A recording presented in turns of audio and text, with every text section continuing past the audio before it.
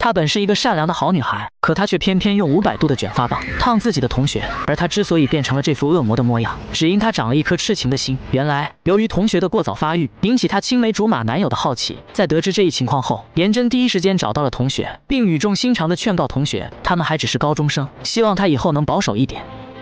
사실은 내가 락스 냄새를 잘 못 맡거든. 근데 화장실 청소 당번엔 그렇게 빨리 돌아온다.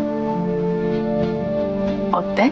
可谁知，同学不仅不听劝告，反而出言讥讽他，说自己没有还不让别人有。听到这话，哪个女人受得了啊？就这样，善良的颜真第一次失去了理智。原本事情到这就是一件再普通不过的同学间闹矛盾事件，可谁曾想，东恩非要上纲上线，不仅跑到老师那里告状，还跑去警局报了警。虽然最后警局和学校都明白这只是小题大做，并没有追究颜真，可谁知颜真的母亲得到消息后却暴怒了，抓着颜真就一顿暴打。因为在他看来，自己高贵的女儿被穷人孩子碰瓷这事，在韩国这个病态的社会传出去就是笑话。于是他逼着颜真去找东恩，一定要给东恩点教训。然而，即便遭到了母亲的毒打，善良的颜真并没有照做，她只是找到东恩，很诚恳的道了歉，希望以后还能好好相处。 사과하려고.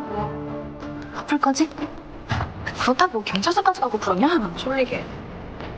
可谁知，善良的颜真虽然没教训东恩，但他身边那些好友却看不过去了，纷纷开始偷偷帮颜真出气。 우리가 너 기다리는데 혼자 야자는 아니지.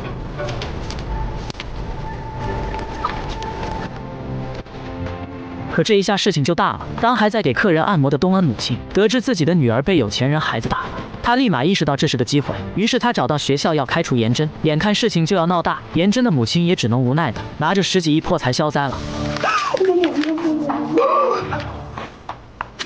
而当颜真得知自己的善良竟然成了骗取他母亲钱的工具时，她彻底的黑化了。气愤的她决定这次一定要给东恩一个深刻的教训。